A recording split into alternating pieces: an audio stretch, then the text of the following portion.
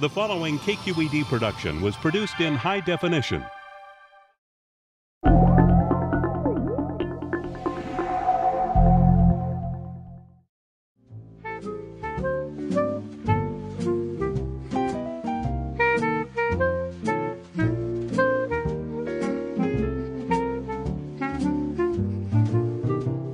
Think for a moment about what brings you pleasure food, nature. If you thought of music, you're definitely not alone.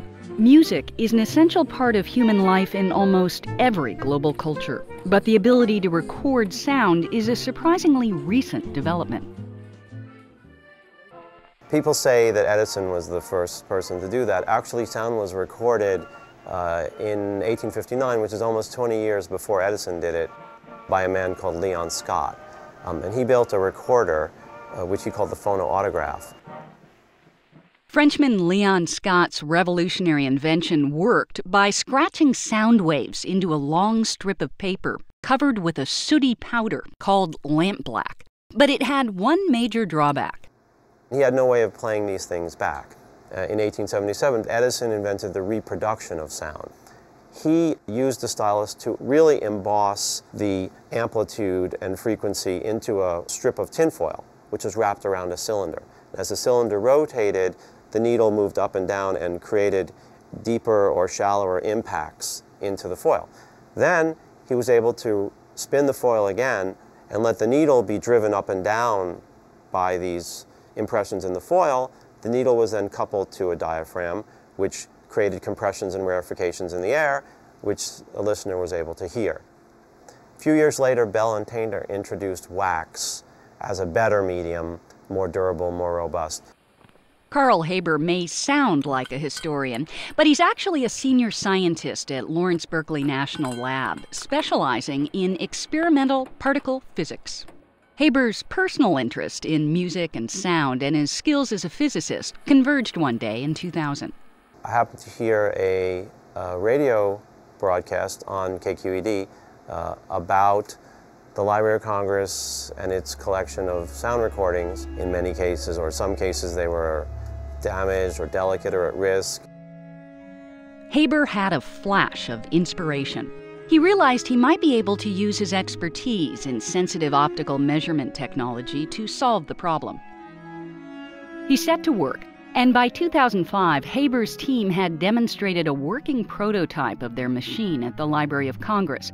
It was called IRENE, short for Image, Reconstruct, Erase Noise, etc. The system was capable of taking microscopic pictures of the grooves in old damaged records and then playing them back clearly without ever touching them. So, how is it possible to play a record without touching it? Well, to understand, you should start with a basic grasp of how sound works. Sound is a sensation that we experience through our ears, which uh, respond to compressions and rarefications of the atmosphere around us. And the mechanism of hearing transforms the movement of our eardrum into impulses in our brains that we can then, that we've learned to recognize as sound. When an object causes an excitation, say a hammer hits a bell, the vibrations cause regular fluctuations in air pressure, creating peaks of high pressure called compressions, followed by valleys of low pressure called rarefactions. If you could see them, they'd look something like waves in a pool. Amplitude refers to the magnitude, if you like, of these compressions and rarefications, what we normally associate with the loudness of the sound. By the turn of the 20th century, Edison's method of inscribing these peaks and valleys onto the surface of a cylinder had taken the world by storm. For the first time, anyone could capture and play back sound. For anthropologists like Alfred Kroeber, it would mark the beginning of an era. Kroeber was a professor of anthropology and the director of what was then the University of California Museum of Anthropology, now called the Phoebe A. Hearst Museum of Anthropology. Kroeber's focus became the indigenous tribes of Northern California, and he specialized in the Yurok family of languages. One of his primary research and preservation tools was the wax cylinder recorder. You had to take the cylinder, the recording machine, and you had to take a few crates of cylinders. And Kroeber would take the train from San Francisco to, I think, Eureka. And then they would take the stagecoach uh, up a little bit further north, and uh, then they would load the stuff on mules and go overland uh, to Yurok territory. And then they would set up their equipment in the field. During the first two decades of the 20th century, Kroeber and his associates recorded hundreds of three minute cylinders of Yurok speech, songs, and stories. The collection is an anthropological gem still housed in Berkeley's Phoebe A. Hearst Museum of Anthropology. And for many people, the crown jewels of the collection are the recordings of Ishi. Ishi was an Indian who had lived entirely outside of um, white communities at the time when he kind of burst onto the scene in 1910. One day he was encountered by some white people up in the Sierra foothills. No one could communicate with him. They called him wild and they brought him back to San Francisco. He had this very, very thorough and complicated knowledge of traditional culture, including traditional physical practices and cultural practices, and also traditional stories. And some of what survives about Ishi is the stories that he told, which were recorded on wax cylinder. The Ishi cylinders have been a source of careful study since his death in 1916. But like so many of the recordings in the Hearst collection, the Library of Congress, and elsewhere, the cylinders are deteriorating, and not just from overuse. Unfortunately, there's a mold which attacks a fungus, which attacks the wax and actually eats it. And when it does that, it completely destroys the information. So this is a particularly bad case where you can see all this splotchiness. Haber and his team had already shown with Irene that they could restore old grooved records using a two dimensional optical scanning technique. But flat records are relatively easy because the waves are visible in two dimensions. Wax cylinders would present a whole new challenge. Edison's modulation was actually vertical, up and down. Photography is not a good way to measure depth. Haber's team would need a different technology if they were to scan and restore the cylinders. They settled on a technology called confocal microscopy. What confocal microscopy does is it, is it trades off um, spatial information for depth. Imagine you're flying over the countryside in an airplane and you're essentially sending something down to the ground which then bounces back to you, some sort of a signal.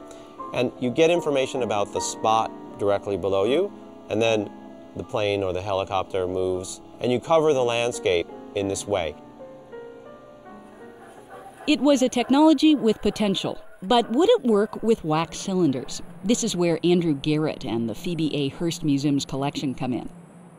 We picked um, 12 cylinders out of the Hearst collection that, that were interesting for intrinsic and incidental reasons. They included a somewhat of a variety of physical conditions. There were a couple of cylinders of Ishi, and there was one cylinder of uh, Ohlone language from the Bay Area. The priceless cylinders were mounted on a specially designed spindle in Haber's lab. From here, the confocal microscope would take sequential measurements of the depth of the grooves, extracting an image of the sound captured in them. For Garrett, the results were amazing. I've listened carefully to um, some of the snippets that have been analyzed. It's a miracle that that there's anything, right? So every time I open it up and listen to it, I have to remind myself that this is uh, audio that comes out of a photograph, and that really is just miraculous.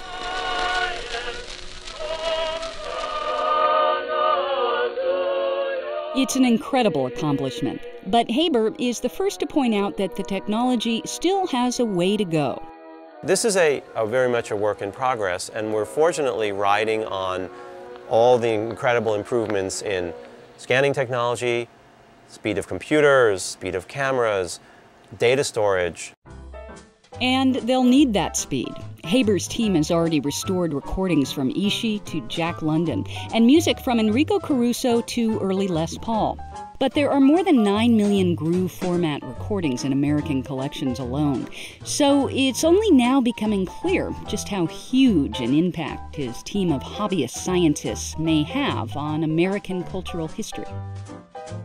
What this experience has taught me is that scientists are really interesting people and you know you work on particle accelerators or whatever and you're you're trained to apply those skills to that and you're interested in old music and somehow just serendipitously you put those interests together and you come up with this completely new creative thing. I just think it's wonderful. Keep Quest free. Discover more and donate at kqed.org/quest.